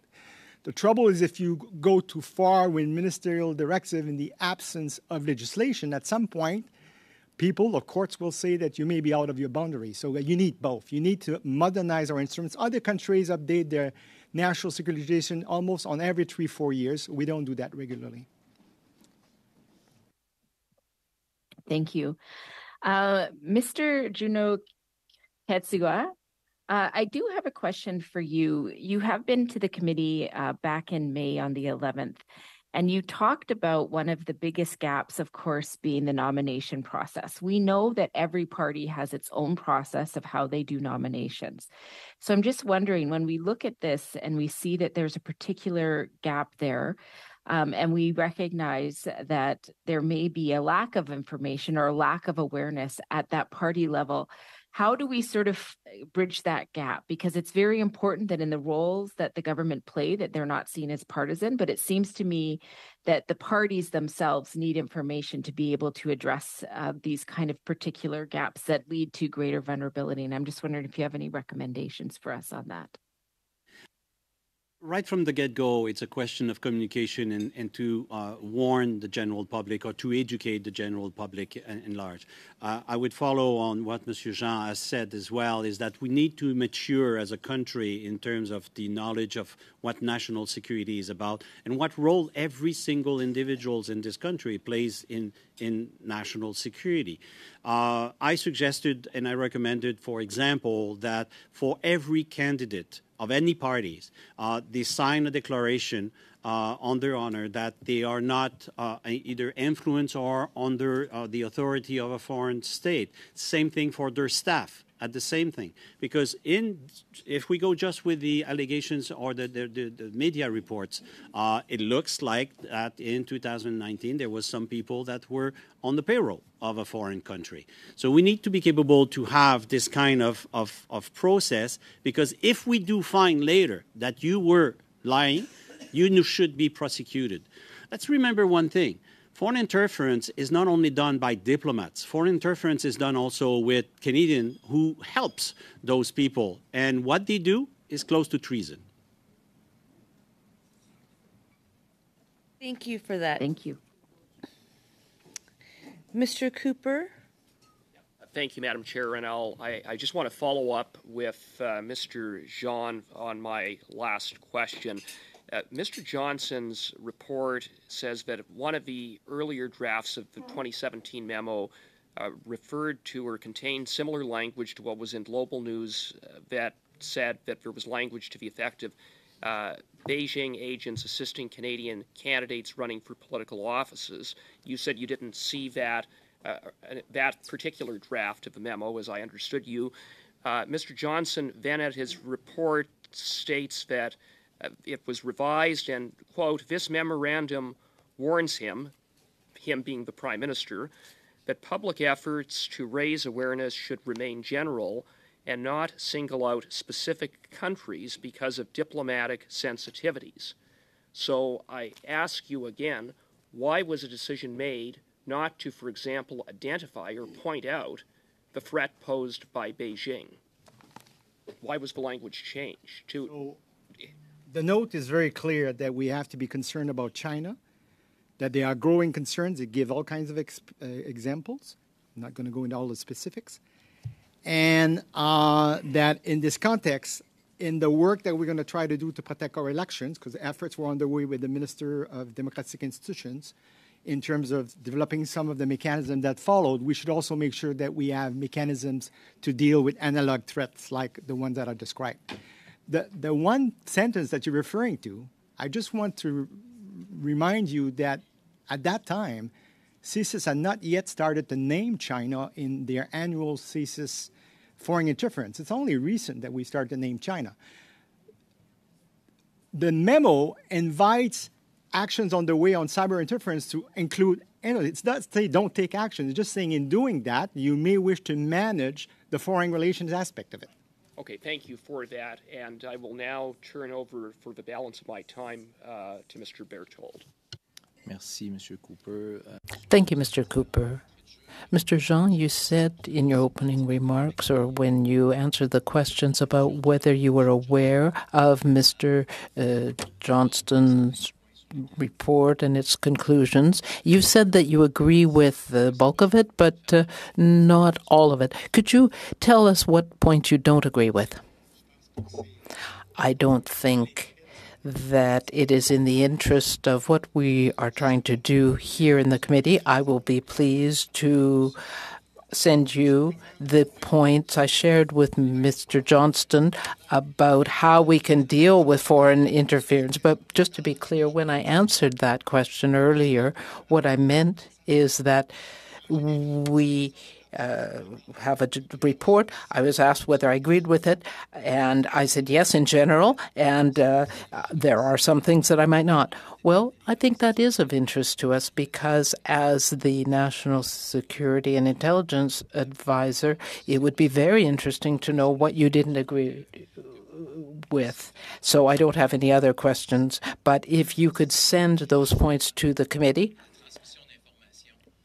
The transmission of information is at the heart of what the problem seems to be. We have heard about that black hole from Jody Thomas, Jody Thomas, from uh, others, uh, the information not getting to the minister and the prime minister. If I put myself in the shoes of people that are dealing with the process right now, you worked on a memo in 2017, and a previous version talked about the funding of uh, political activities. We don't know who called for the, mo- the memo, who, who drafted, who decides what is in the memo, what you signed off on. Who are those people? Are they political staff? No, definitely not. On your last point, we work as a team. What, what, who's on the team? In my case, uh, the memo for the PCO as National Security and Intelligence Advisor, um, I and my team, when we see that there is something that the Prime Minister should be made aware of or that recommendations should be made about, we work as a team because a political staff member may have seen an intelligence report or briefing note and ask for more information. In I work with my team, and finally, it's the National Security and Intelligence Advisor who uh, signs off. We have to take into account the uh, preoccupations and concerns of that are diplomatic and other. But the question is, why did the note evolve and there was this other version? Well, if I can just be clear, often the briefing notes from CSIS uh, confused diplomatic issues with political inter well with uh, foreign interference. There might be something that would be an excellent suggestion. And we would sit down with the main analyst for China and we would look at issues. And one thing might be clearly foreign interference, something else might be diplomatic. Thank you. I just want to say that, Mr. Berthold, you let Mr. Jean answer, uh, finish his answer, and this is why I gave a little bit extra time. So if we can all conduct ourselves that way, we'll get along fine. Thank you very much, Madam Chair. And through you, I'd like to thank the witnesses for being here. Uh, because today's meeting is is focused on the question of privilege related to the intimidation campaign against uh, MP Chong, um, I understand, uh, Monsieur Jean, you were the NSIA from May 2015 until May 2018. So, with respect to the specifics of the question of privilege, uh, you were no longer in that position when this was hap- this specific issue was happening with this specific MP because we understand now from testimony from the head of CSIS that um, the IMU was a su- uh, came out after sanctions following the 2021 um, February 2021 vote in the House of Commons on MP Chong's opposition day motion. So I'm, I'm going to come to the two of you in your expertise as uh, in intelligence and ask some questions if that is okay. Um, Mr. Juneau-Katsuya, you mentioned something uh, to answer a previous question um, with respect to uh, candidates running who may or may not be loyal to Canada and so on and so forth. Um, as you, I'm sure, both are aware that in June, on June 28, 2017, the National People's Congress in China passed the National Intelligence Law and outlined the first official authorization of intelligence in the People's Republic of China.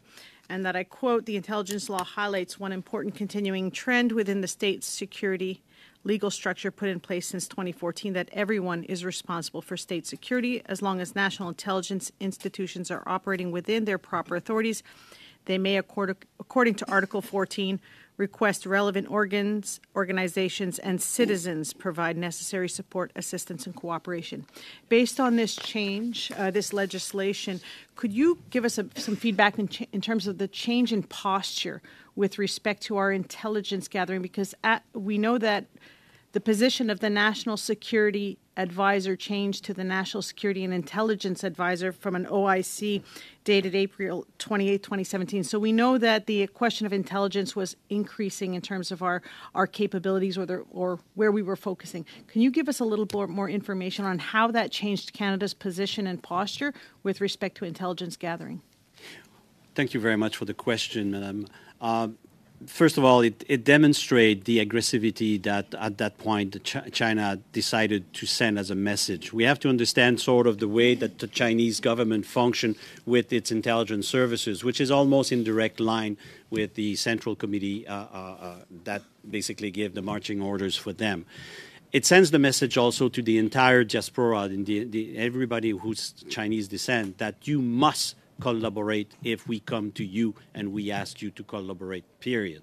Uh, which could potentially make a you be a traitor to your the country where you reside to a certain extent. So there's a conflict of interest here that is forced on the people abroad, and that is a form of of uh, uh, uh, pressure that is exercised on the community.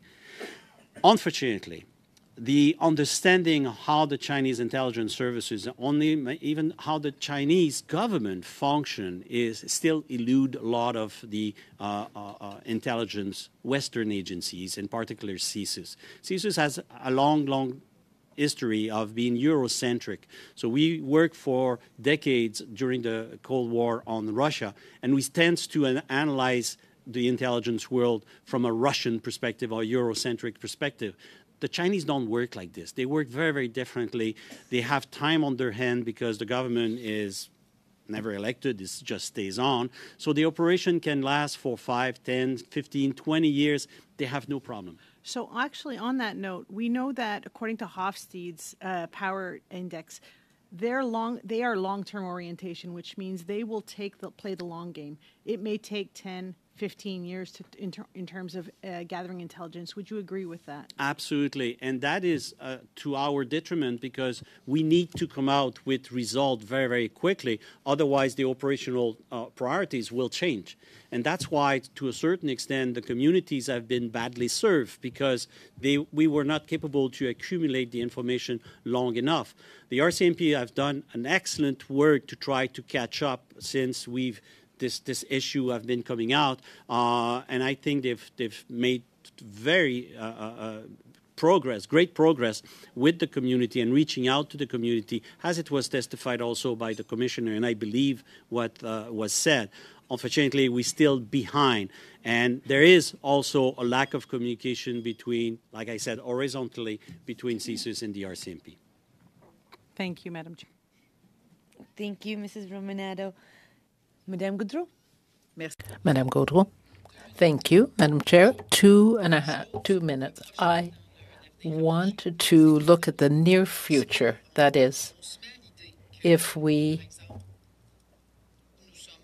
think about uh, being uh, the prime minister, the minister, or the chief of staff. We just have a few days left before the end of the session. What do we need to do right now and for the future? Immediately, there isn't much time left. We need to prepare uh, and draft a foreign interference act one of the problems is the difficulty of carrying out investigations against people who have committed reprehensible acts because the foreign the uh, Security Act as it allow, as it exists is not sufficient. We need to do be be able to do more to protect the diaspora populations against uh, intimidation. We need to do like the Australians, Americans, and the British have done. So legislation. Uh, is there anything else? Perhaps Mr. Jean has something to suggest. I agree. We need to go beyond partisanship and obviously that can play a role, but we need to improve our tools. Leg- legislation, the CSIS Act, the Foreign Agent Registries, those are things that what we need to do. The Australians had a lot of foreign interference by China, and they got someone to come to work with the equivalent of CSIS for the Australian government and looked into the various tools needed, like a register, penalties, and uh, protection of elected representatives. I think we could do something like that. Well, in parallel, we can uh, walk and chew gum at the same time. Uh, what about the investigation? We do you not think that we need a public inquiry? I think that is necessary now because the Canadian public wants to see clearly what the situation is and that the government is taking these matters seriously. We need all parties to work for the resolution of these issues as well that is affecting everything. Thank you. Ms. Blaney. Well, thank you, Chair, for that. Um, I'm going to come back to Mr. Juneau-Katsuya. Um, I'm just, I'm really curious. When you were here back in May, you talked about the chain of command being a roadblock and that CSIS and RCMP reporting goes directly to the PM, and often that's where the roadblock is. So when I think of the issues uh, for members of parliament uh, and the realities of foreign interference and what that means for both themselves and their loved ones.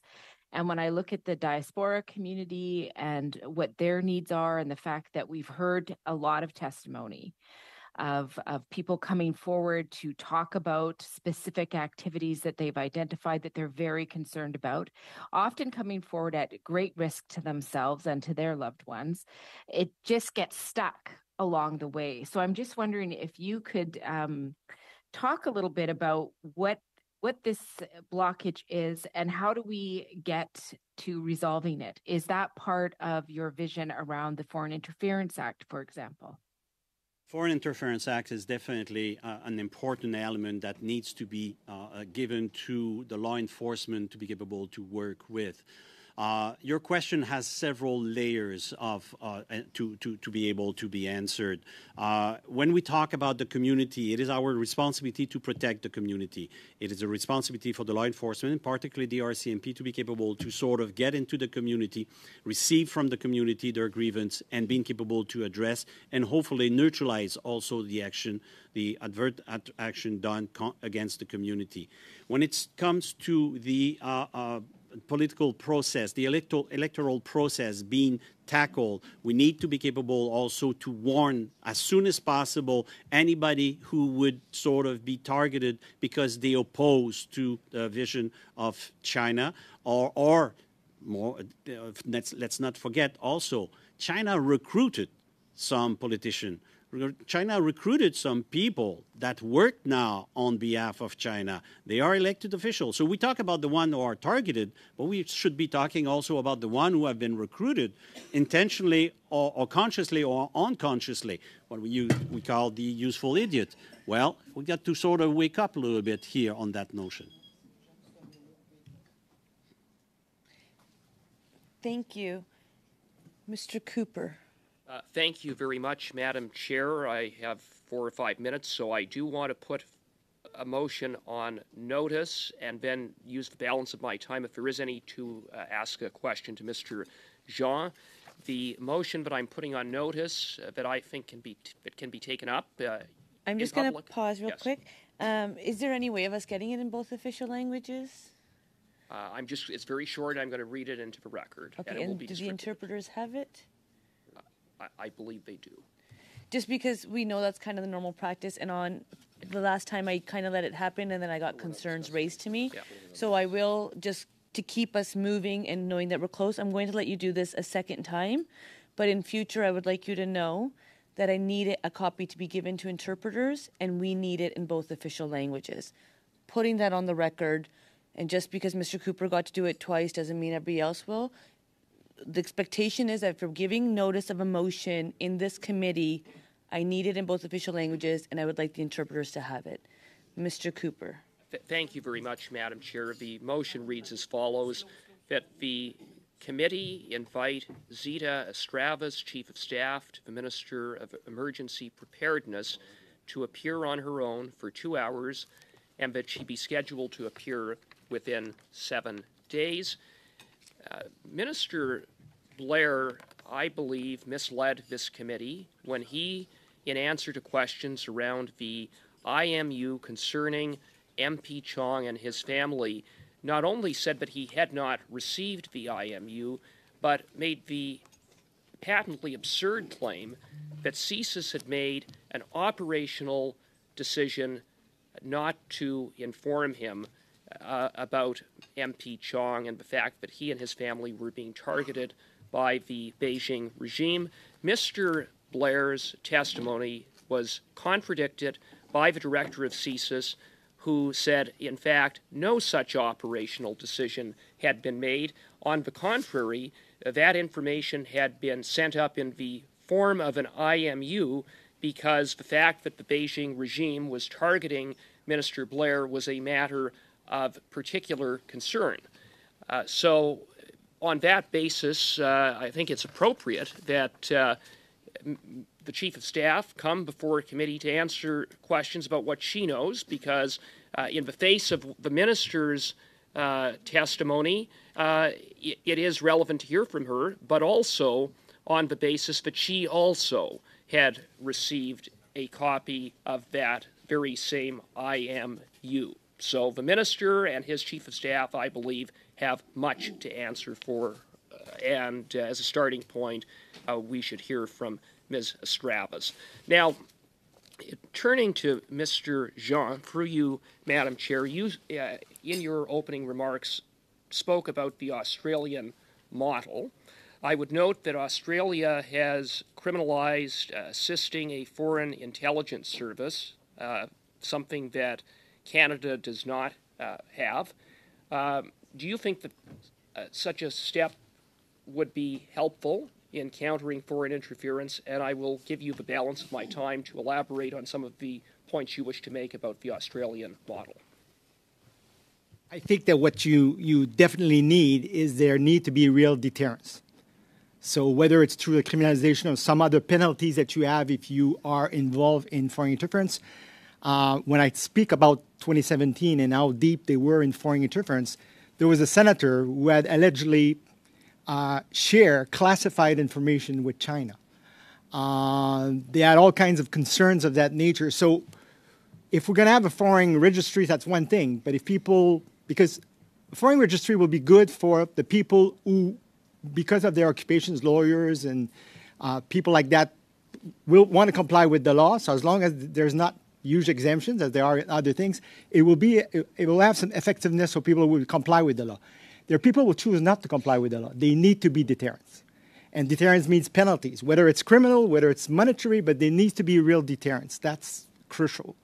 Uh, you definitely need to do something about providing more uh, uh, ability. You on problem number one with the surveillance and intimidation of, of, of, the diaspora, and was really happy to hear the RCMP testimony this week, we need to work with the communities that they feel confident they can come forward. And then when people are taking action, that they're trying to intimidate people in the community, there should be actions taken against them. Uh, that's critical in the last couple years, the work I do, I meet a lot of young Chinese people who say their parents who are dissidents, and their parents say, "I'm scared of what you're doing because either us or our family back home is going to be, you know, intimidated." We need to be able to create space for Canadians who are harassed, intimidated, to be able to come forward. Um, so there's a number of measures. I said I have a document that I'd be happy to share with the committee. Uh, but to me, yes, you're trying to shed more light on this, but please, to all parties, go above partisanship and focus on a strategy that can undermine foreign interference. It is on their national interest. Excellent. I'm going to just thank you. Thank you. There's seven seconds left to being completed in five minutes, but my sheet shows that more than seven extra seconds were provided. So I'll go with five minutes to Mr. Noormohamed and that will bring us to the end of today's meeting. Mr. Noormohamed. Uh, thank you, uh, Madam Chair, and thank you, witnesses, uh, for being with us. I, am going to ask one question and, and, give the rest of my time to Mr. Uh, Fergus. You know, at Ethics Committee on June 2nd, uh, Dean Baxendale, who's the Chief Executive Officer of the China Democracy Foundation, testified, and he said that, and I quote, under the Harper government, a number of MOUs were entered into directly with the RCMP. This allowed some 25 China communist agents, we'll call them policing agents, to enter the country to look at repatriating supposed criminals uh, from Canada. A number of uh, them were deported during that time, about 290. I mean, it's safe to, I think it's a safe assumption to make that these MOUs would encourage this practice of policing or intimidating the Chinese community by folks coming from outside. In your uh, opinion, uh, Mr. Juneau-Katsuya, had the Harper government taken this, uh, the consequence of this more seriously, where would we be today? Would we be in a different place? Definitely, when we allowed the, the collaboration with the police in that perspective, we send the wrong message to the community. That's un- unavoidably. Uh, in that perspective, also, we know for a fact that during their stay, some of those police officers, the Chinese police officer, went into doing covert meetings uh, with people, and they were not supposed to be doing that. It was reported back to the Minister of Public Safety in back in China through our ambassador and everything. So. Uh, it is a good example of the misguided policy or misguided decision that are definitely questionable in terms of why we did such a thing. What was the gain uh, of, of for our nation to allow that kind of uh, uh, uh pursuit by uh, the authority when we can question the original intention of uh, their pursuit? That is the same thing when certain companies were uh, authorized to be bought by the Chinese here in Canada. That was given by many different uh, prime ministers before. Uh, we have a process with Industry Canada to, to allow na for national security to prevent the sale of certain assets, and unfortunately, it's not, it's not used enough, to my point. Uh, thank you, and I'll yield of my time to uh, Mr. Fergus. Thank you very much, Mr. Uh, dear colleague, Mr. Noormohamed. Uh, Madam Chair, through you to uh, to witnesses. First of all, thank you very much. I, I, think I have two brief questions, if I can get the if I can get the answer. And, uh, you know, sometimes being a committee is like uh, drinking from a fire hose. We get a lot of information thrown at us, and it's sometimes afterwards, that, upon reflection, uh, that I'm, I'm, trying to just get a settle of this. Mr. Juneau-Katsuya, you came before committee before I believe it was this one. I'm sorry. I've seen you also at, at, at the Ethics Committee on the same issue. Uh, you, said in previous testimony that you estimated about 70% of the Chinese embassy staff uh, were spies. Now, for the purposes of this study, I like to track down my sources. Can you provide the committee uh, with the source for that figure? Because I've, I've, I've spoken to a number of other to other foreign uh, uh, uh, foreign policy experts and, and they have a hard time putting the number at that high a, a uh, uh, figure. That, that number came from my experience when I, while I was with CSIS. That, okay. And, and again, you were at CSIS until the years? 2000. 2000. Okay. Um, is it your sense that things could have changed since that time? If anything at all, it might have increased. Uh, if anything at all, the, since uh, in the mid 90s, as I testified before, uh, we, we've noticed the uh, foreign interference coming from the embassy in China. When we found in the uh, record of uh, Election Canada that the embassy had given that year, 1995, money to both the Liberal Party and the Conservative Party. We could see that they were preparing the bed for this, this foreign interference. Uh, unfortunately, it was, it was not understood or evaluated enough by CSIS, and we let this go on for uh, decades. And what it, we witnessed, because even if I left CSIS after 2000, I kept working on the file and investigating uh, the file for various uh, uh, clients. we've, we've, we've seen the Chinese becoming much more bold, much more audacious in their way of, of operating and increasing the number of diplomats who are actually intelligence officers. So thank you very much for that. I did want to get a question into Monsieur Jean. I'm probably not going to have enough time for an answer, but I'm hoping you could provide an answer in writing, Monsieur Jean. Um, it's regarding the Australian model. You talked a little bit about how we should, uh, what uh, practices we should adopt to it. Uh, what are the things that we can, what mistakes can we avoid that the Australian model for foreign registrants, uh, for foreign registry, uh, can we can we have? can we take? I think the I think the foreign registry is one element in a broader strategy, and, and we should not oversell it, right? So I would go narrow.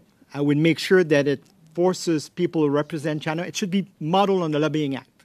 So people are representing interests of China, may they be law firms, may they be others, should have to report their contacts like they do under the Lobbying Act. There should be penalties for people who will choose to not comply, who will not report. The penalties should be meaningful, going back to the question of Mr. Cooper earlier. Um, so you need to have good measures, you measures that are going to deal with what the problem is. And that's why I, when I say I would hope that the committee's work allowed to go above partisanship and develop a strategy that deal with what is the problem, what are the best instruments that we need to update, and how do we make sure that we're successful in correcting this thing. Maybe I'm too naive. Thank you.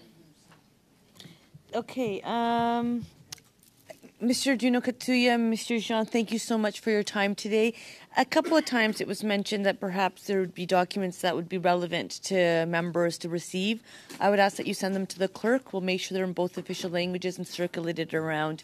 I also just want to appreciate the fact that I think on multiple occasions it was, well, one time it was mentioned the number of witnesses, over 300 at all committees combined the demand well the ask to go above partisanship because when it comes to institutions it is essential that we protect them. We can talk as much as we want on the international stage about in, democratic institutions. If we don't protect our own what does that mean? So i really do appreciate um, the information you provided to us and i wish you both a good rest of the day. Proc committee members we'll see you next tuesday. Uh, keep well and safe. Meeting adjourned